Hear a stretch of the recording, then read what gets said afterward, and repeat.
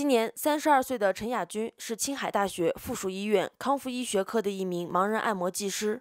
虽然眼睛看不见，但是陈亚军喜爱阅读，黑暗并没有遮住他探索知识的眼睛。陈亚军从小就在学校接受系统的教育，从十岁开始，他便在盲校老师的引导下坚持阅读。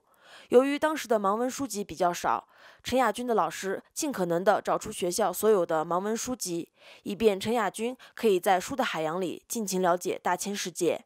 就老师当时给我借一些高年级的那种语文书呀，或者历史书啊，因为历史的好多，呃，其实看电影啊或者那种碎片化的听到过，但是没有完全的整个的看到过，然后就看，就应该是阅读习惯从那时候培养起来的吧。二零零五年，青海省图书馆成立了盲文阅览室。从那时开始，陈亚军每天下班都会去借书阅读。如今，他已经将里面的医学、按摩专业相关的书籍和小说类、文学类作品通读了一遍。陈亚军说：“书中自有黄金屋。”对于从小就眼盲的他来说，可以通过阅读天马行空，尽情想象。呃，喜欢纸质的吧，是因为就。呃，记忆力深刻，还有一些东西需要慢慢品味、品读的啊，比如说精彩的诗句啊，或者精彩的一些小说的一些段落啊、章句啊，这些我觉得只知道它会文火慢动。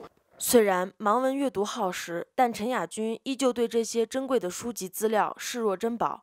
陈亚军说：“他指尖触碰到的不仅仅是知识，也是为自己指引前方、安身立命的明灯。”因为我们毕竟眼睛看不着嘛，一定要储备自己的内心啊，这些也可以增加一种力量。因为你看一些名著的话啊，其实人家说就是给名人在对话嘛，其实从他们那能获取一些思想啊、学习啊这种状态。坚持阅读这么多年，陈亚军不仅增长了阅历，还打开了他认识社会的大门。